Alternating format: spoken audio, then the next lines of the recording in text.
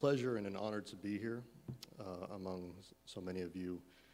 Um, I am not traditionally learned, so that makes the privilege and honor greater for me. I ask Allah subhanahu wa ta'ala to bless and reward the heirs of the Prophet sallallahu alaihi wasallam, and I ask all of you to make dua for me especially. Um, the topic under consideration today is understanding contemporary atheism through scientism. Now, a little bit of a background on me. Uh, I did study Western philosophy and Islamic philosophy under Syed Naquib al-Attas. And one of the primary concerns that I had during my studies was the topic of contemporary atheism. Um, and it was also the subject of my master's thesis. And one of the things that I noticed uh, that was problematic in all of the responses regarding atheism, especially from the Christian perspective, was the fact that they were not addressing the elephant in the room.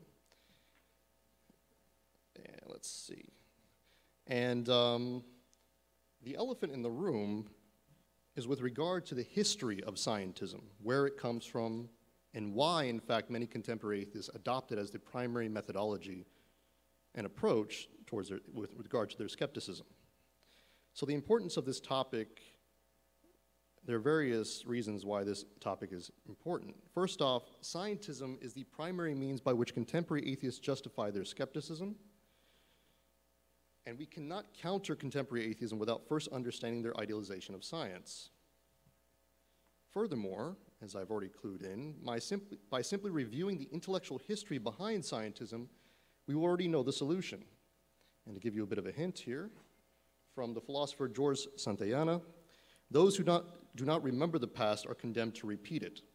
And indeed, the contemporary atheists have not recalled their own past, have not recalled the past of their particular ideology, the particular methodology that they utilize in order to justify their skepticism. And by understanding that past, we can find a very simple solution. Because believe it or not, the Western tradition itself has already refuted it. Um, unfortunately, though, many individuals are not aware of this. So first off, I want to go over briefly what is contemporary atheism. Now, I know many of you have already gone through several presentations where the definition of atheism was mentioned. However, I just want to briefly summarize and give you a, an understanding of how contemporary atheists see themselves. Okay.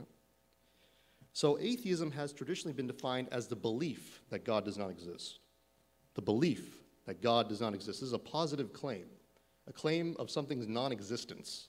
Right, so they have knowledge that something doesn't exist. This is what they're claiming, okay? However, since the 20th century, atheist philosophers have differentiated between two categories of atheism. They have, in fact, demarcated between two types of atheism, and one in which they currently adopt more than the other. And without realizing this, we can make a number of mistakes. So the categorization goes as so. The first being negative atheism, also referred to as weak atheism. And by the way, we're going to discuss how this uh, categorization occurred and who came up with it at a later point. However, in the meantime, I just want to summarize this. The first is negative atheism or weak atheism, and that is the position or the lack of belief that God or gods exist. The lack of belief, either a lack of awareness or the position that one does not know. Okay? And of course, this is uh, previously known as agnosticism. However, atheists have co opted the definition and claimed it for themselves. So, examples of this are there isn't enough evidence, or theism is irrational because there is not enough evidence or enough justification. Right? And the more common definition that we're used to, the traditional one, is what we call now positive atheism or strong atheism. And that is the position, the belief that God or gods do not exist, there is no God. Okay? Now, some of you are probably wondering what's the difference? because it is quite subtle. Uh, the difference between negative and positive atheism is subtle, but significant in understanding the arguments of contemporary atheists. Why? Contemporary atheists are more concerned with justifying belief rather than proving the existence of God per se. In other words, they're more concerned with questions like what is good evidence? What is evidence? What is considered rational. Okay? Likewise, contemporary atheists require only the theist to provide justification for belief In other words, the former believe they don't need to justify their positions because they assume they don't have one. Most contemporary atheists today believe they do not have to justify their skepticism to the theist. It is our job to prove to them that we are rational and that theism is rational. They just have to sit back and let us do all the work. That is their claim, that is their so called position. However, there are hidden beliefs and assumptions in their approach, which are beliefs about evidence and rationality. These must be challenged in order to refute contemporary atheist thought. And what are those hidden assumptions about evidence and rationality? And that's where we come to scientism. Contemporary atheists follow an epistemology, otherwise known as theory of knowledge, known as evidentialism. Evidence is necessary to justify a belief. That is their main position. Evidence is necessary to justify beliefs in all cases. Okay? However, they follow a very specific form. They adhere to a specific form of evidentialism known as scientism, which is the belief that science is the best and only means to know anything. Again, the belief that science is the best and only means to know anything. Now, for those who are uh, learned on the subject and very clever, you'll notice that there is a problem with these two statements, but we'll get to that later. Okay? So let's discuss the history of this ideology. And I first want to start with a, a uh, dapper British gentleman by the name of uh, Bertrand Russell. Okay? He was an atheist philosopher of the 20th century. And during his period of time, during his life, most philosophers in the analytical school of philosophy believed that numbers were real things, like objects. now you know why I, I left the field. Um, aside from thinking long, deep thoughts about unemployment, but that's a different issue. Um, so during his period of time, uh, many philosophers believed that numbers existed actually in some other realm. Because they were useful, they could, they could actually, they cohered with reality. They actually believed that these things were real in some idealistic realm, okay? Like Neoplatonic realm. Now, he didn't like this idea. In fact, he thought it was ridiculous, alhamdulillah, right? And he uh, wrote a very uh, interesting thesis on this subject with his friend Whitehead called the Principia Mathematica. And he actually proved that all mathematics could be reduced to logic. Okay? All mathematics, all mathematical principles could be reduced to logical axioms, or at least the vast majority of them. Now, before going into how this influences uh, contemporary scientism, I will say that this also provided positive benefits for society in that he is considered the father of contemporary uh, computer science. In fact, programmers consider him to be the father of their field because he was able to reduce mathematics to symbolic relationships. Okay? Something to note. However, he did something also in the negative sense. Uh, he influenced philosophy in a negative way, uh, accidentally, because once many philosophers agreed with him that numbers were just symbols, they were analytic and not synthetic. Let me explain that real quick as well. Analytical statements are true by definition, synthetic statements are true by virtue of your experience. So, for example, the grass is green outside is a synthetic statement because I have to empirically verify the grass in order to make that statement meaningful. Okay? Whereas a statement, um, a bachelor is a single person, is true by definition. Right, all right. So he proved that mathematics were analytical, all right? And as a result of that, many philosophers at the time started to think, well, if numbers are analytic, then what about other things in that realm that we thought numbers existed in? For example, God. Maybe the concept, maybe the statement God exists is an analytic statement. Maybe that's not a synthetic one. So he accidentally started this idea that perhaps the concept of God is itself a meaningless construct. It does not have any content outside of itself. So then we get to this eccentric individual by the name of Ludwig Wittgenstein, and uh, he was a very interesting fellow in that uh, he believed, quite arrogantly, that he had resolved all the problems of philosophy after writing a pamphlet. And then he went to become a teacher in grammar school. Um, but he's also very brilliant in that he caused probably one of the greatest problems in philosophy that we are currently dealing with today. He was the first to really propose an explicit form of scientism. So he actually studied under Russell for a brief period of time, and he read the Principia Mathematica. And he thought to himself, you know, let me see if I can apply this to everything else around me. Let me see if I can come up with a principle, or, an, or at least sort of scaffolding, a construct that can differentiate between a meaningful statement and, and one that is not meaningful. Okay? And so he stated in his Tractatus the following The right method of philosophy would be this to say nothing except what can be said, i.e., the propositions of natural science, something that has nothing to do with philosophy, and then always when someone else wished to say something metaphysical or otherworldly, like example, God, to demonstrate to him that he had given no meaning to certain signs in his propositions. So he gave this idea that basically there's no meaning to a statement unless you can provide scientific justification. Okay. Now, a group of philosophers known as the Vienna Circle were really inspired by this little work of his. And they called the Vienna Circle because they used to meet at the University of Vienna. And there was a number of them. I'm not going to go through each person. Uh, A.J. Ayer is probably the most famous of them, though.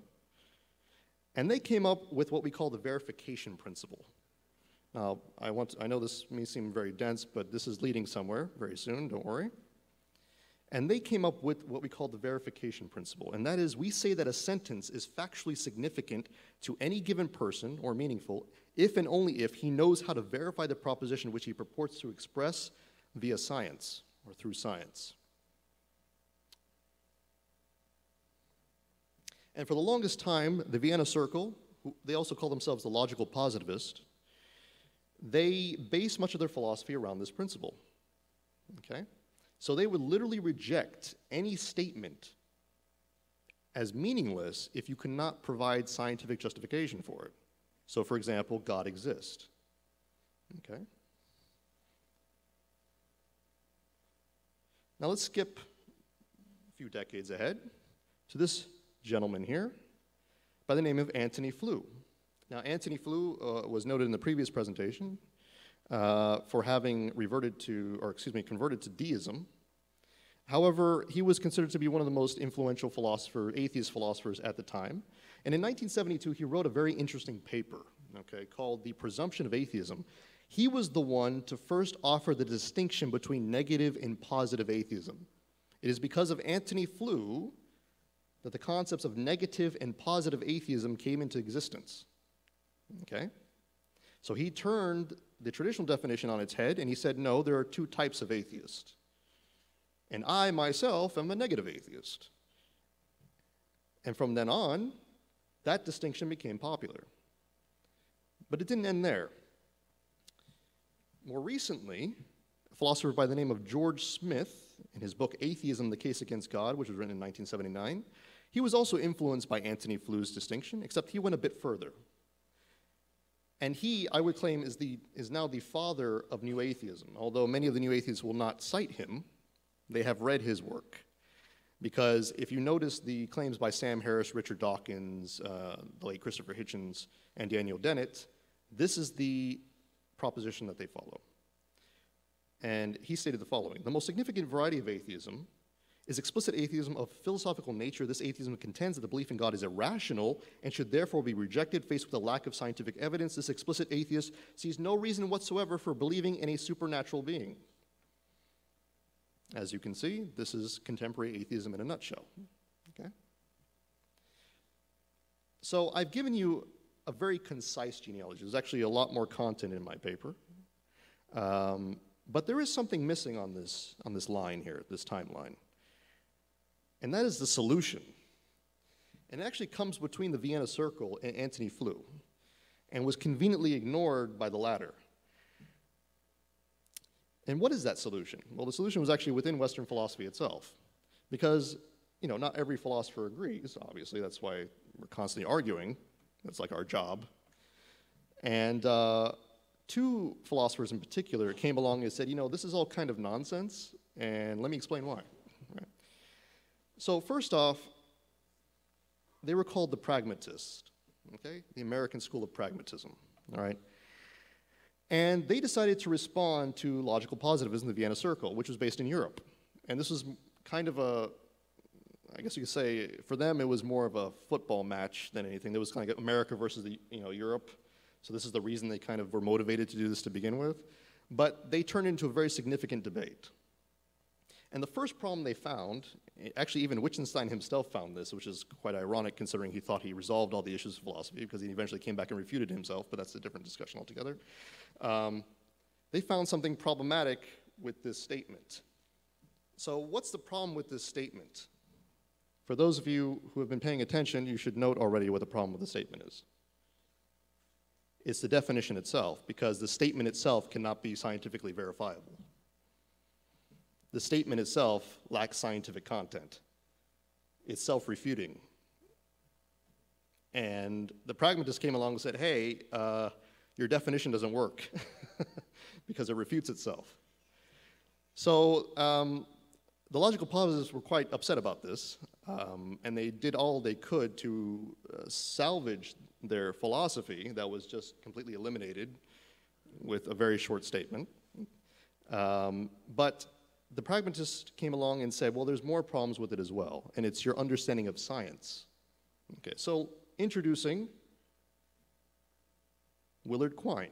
Now, Willard Quine was an analytical philosopher of the pragmatist tradition, and he found a number of problems with that form of scientism, in that the distinction between synthetic and analytic statements cannot be verified itself. Not just a statement, self refuting, but the actual distinction between meaning and meaningless has no scientific basis. You, you can, okay, that's meaningless, that's meaningful. What scientific evidence do you have for that? So he said the distinction is superficial, number one. He then went on to say that meaning is holistic, not reductionist. You can't reduce meaning to statements, words, and phrases. What do you mean by that? Well, let me give you an example. It's a picture here of a lock, somebody locking their door. Now, let me give you a statement. Before I go to work today, I have to fix the lock on my door. Now, to all of you, that's a very meaningful statement. But why? Do you have to look at my lock? What do you have to verify in order to comprehend that? Let me explain. Why do I have to lock my door? Number one. What does that mean? What does it mean to put a lock on my door? What sort of culture do I live in where locks are necessary? What's the value of the lock? Why do I have to do it before I go to work? Why am I going to work? Why do I work? Now, you're probably wondering, why am I asking all these questions? Well, the reason is because everything is connected. There is more to meaning, there's a context of meaning, there's a world of meaning that contributes to that statement. You understand it because you live in a context where that statement has meaning. It's not because you've reduced it to anything, to some, some axiom or some logical statement. It's because you live in a context where that makes sense. It's a web of knowledge. Okay. Do I have much time? One minute? Still for a little. I'm going to go fast as I can here. Then came uh, Thomas Kuhn, who was also a contemporary of Quine, and he showed a very different understanding of science, which is actually um, uh, mainstream in philosophical circles today, however, not among the new atheists, which is quite Interesting. And he showcased that science is not objective, it's not absolute, but it's paradigmatic. So, what does that mean? Well, he was, first off, he was the one to coin the term paradigm, for those who are unaware. And he showcased that science is not something that is absolute because human beings are the ones that construct these theories, that construct these uh, ideas to understand the natural world. Okay, we'll get into that more later. Science is adaptive, not progressive. It changes based on new data. It does not progress. And he also proved that scientific revolutions are destructive, not enlightening. Let me give you one example. The geocentric and heliocentric system. Now, For those who haven't studied the differences between these theories, obviously the geocentric system stated that Earth was the center of the galaxy, whereas heliocentrism said the sun is. Now, why did we switch theories? Good question. Did Copernicus go into space on a rocket and observe the universe firsthand? No. In fact, what he did was that he looked at geocentric theory, he noticed that there were problems with it, and he said, Let me see if I can come up with a simpler solution. So he sat at his desk with a little candle, and he literally thought about the easiest way to resolve certain issues with geocentrism. He said, Well, what if I put, and it had to do with ellipses, et cetera. What, do I, what if I put the sun in the middle? Then will these problems go away? And they did. And that's the reason we adopted the theory. Not because we observed it, but because this one was easier to deal with. That's literally it. So that is an example of science being subjective, not objective in many respects, being adaptive, not progressive, and at the same time, um, what was I saying before? I'm trying to rush through this now. Uh, sorry. Um, and uh, just one, I have one more slide. So, uh, pragmatically addressing the use. So, you're probably also wondering how does this tie into Islam? Well, in fact, there is a pragmatic tradition in Islam, and I will leave that for Dr. Nazir Khan to discuss with Ibn Taymiyyah's epistemology. And we both concur that he was actually a pragmatist at heart. So, inshallah, he will discuss that with you in his presentation. However, uh, because it's not the scope of this research, I will give you some pragmatic ways in which to address the youth uh, regarding their uh, their appeals to, to scientism and atheism. So first off, doubt the doubts, not the doubter, uh, because uh, if you truly want to get to the youth, you first need to doubt, you can't doubt them and their uh, experiences, okay? Take those seriously and doubt their um, doubts instead. Play by your rules, not the doubt's rules. Do not allow the doubt to be validated what I mean by that? If somebody asks for scientific evidence of God, you do not say, oh, well, here it is. No, if it's an irrational doubt, do not make it rational. You have to say, no, that is irrational, because doubts can be irrational, correct? Three, are their doubts consistent with the undoubtable? And we're almost done here. So, for example, other things that we believe in as human beings, what makes us human? Let me give you some examples. Human rights, morality, beauty, love, reality itself. Does any of this have any scientific evidence whatsoever? The fact that humans have rights. There's no scientifically peer reviewed paper that says that we have rights. There's no scientific peer reviewed paper that says we have morality or that it's, that it's objective or subjective. There's nothing about beauty or love. They can reduce it to chemicals, but you don't want to tell that to your wife or husband. I love you because my serotonin is high today. You will die. okay? Right? Reality itself, can you prove that you're not in the matrix? Can you prove that you're actually in reality? The scientismist, the person who follows scientism, has to constantly prove their own existence and the content of the world around them. Is that a tree in front of me? Let me see if I can measure it. We cannot function as human beings based on these principles you actually, it's actually dehumanizing to validate everything by this, by this measure, right? And what are the alternatives? Okay, you want to be an atheist? Fine. Let's ask some questions. What are the alternatives? Now you believe human meaning and purpose are man made. You hear this a lot. I'm sure you've heard a lot of atheists say this. Well, I make my own meaning and purpose, right? We hear that all the time. Well, that's fascinating. You've rejected religion for being man made, and now you're believing in something that's man made? Then why are you an atheist? Doesn't make any sense. Right? How about name one atheistic civilization in history? You believe in evolution, survival, right? Then why is it that evolution prefers theist over you? Why is that no human civilization has ever functioned by any sort of anti supernatural standard? Excuse me. Why is it that every time we see an atheist civilization, they just slaughter each other and then they go away? Stalin, Mao, Pol Pot. They lasted for what, 10 years? Theists have been ruling the earth for how long? And why do you care about the future? Why do you care about the sick? Why do you care about the disabled? You have one life. Why do you care about spreading your genes?